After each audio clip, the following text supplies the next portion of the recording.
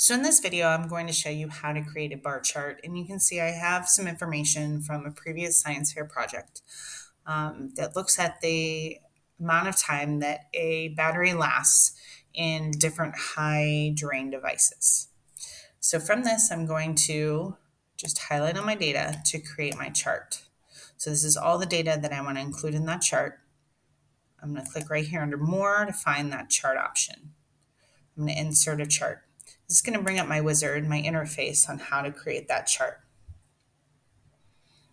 So it's created the chart for me. You can see that it's a bar chart just as I expected, but it doesn't really communicate what I want the viewer to understand. And what I would like them to understand is how the batteries compare to each other. So in this bar chart right now, the batteries are separated into different categories all the way across and you can see how they perform in the devices and easily compare those but it's hard to compare the batteries to each other so what i would like is i would like clusters of bars and each bar to represent a different battery type rather than each bar representing a different device so I need to go in here and make some changes so that it looks and it reflects and it communicates the information that I would like it to. So I'm going to go down here on my chart editor in the setup and I'm going to click switch rows and columns. And then it says use column A as headers. I'm going to turn that off. Um, and then I'm going to turn it back on and it's going to fix that chart for me. So now you can see this is for the remote control car, the three, four different batteries, how they behave, how they act for each one, the flashlight, and the Bluetooth speaker. So the chart itself looks the way I'd like it to. The bars are correct at least, but the title doesn't really reflect what the chart is trying to communicate. This label here is not in the right place. This should be on the y-axis because this is the time my battery lasts. And I'd like these labels to be down here because they're a little confusing on top of the bars. So I still need to edit this and make sure that it looks and communicates what I'd like it to. Um, and this label is also not correct. That's not the battery type down there. This is the different device. So the first thing I'm going to come up is come up here. I'm going to look at my x-axis and it says my label should be battery type, and that's not correct. So I'm going to change it. And I'm going to change it right here to say battery type. And so it's going to read battery type the row header, battery type. And it's going to put my different, sorry, row header this way.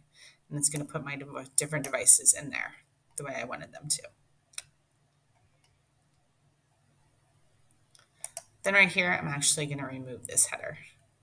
I don't want it to be that. I don't want it to say battery type. I want it to describe this really as my, my three different devices. So I'm going to change that to say high drain devices. And you can see it updated that automatically. So now I'm under customize.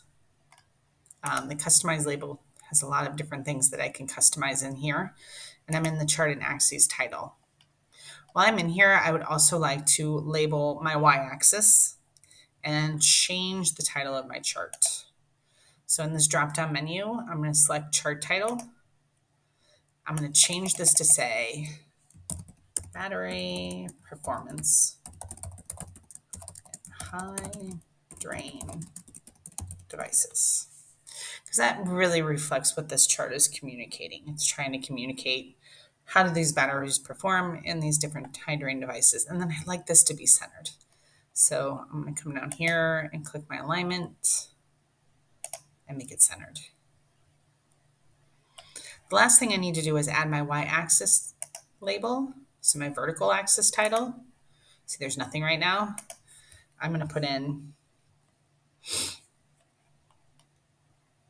right, and this is the time the battery lasted right there. Look, it auto-populated for me, so that's fantastic.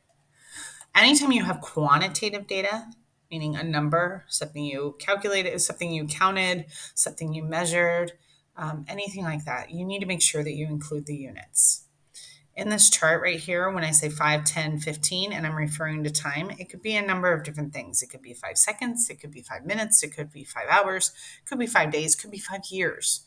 Um, what I need to do is communicate that information um, so that everybody can understand exactly what I'm talking about. So here you can say I have You can see I've written HR to represent the number of hours that these batteries lasted. And then once I'm happy with that chart, I like to move it so it's not covering my information. And I can see both pieces of information at the same time. And then the last step is just always double check your chart and make sure it's perform, performing, performing the way that you would expect it to. So in my remote controlled card, I see the Energizer is 10.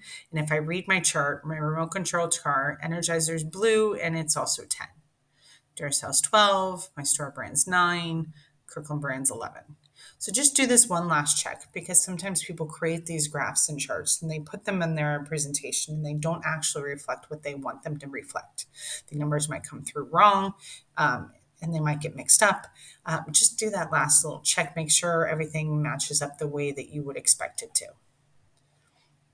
And then I'm happy with that and I can go ahead and use that in my presentation.